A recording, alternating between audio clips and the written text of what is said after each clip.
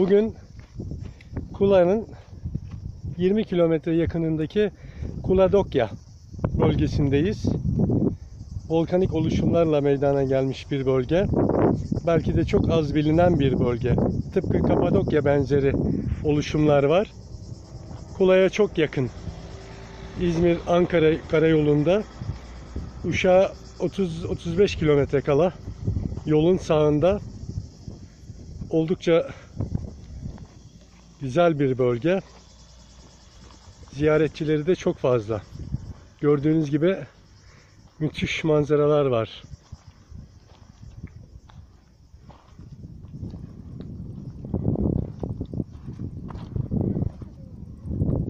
Yolunuz düşerse mutlaka burayı görün.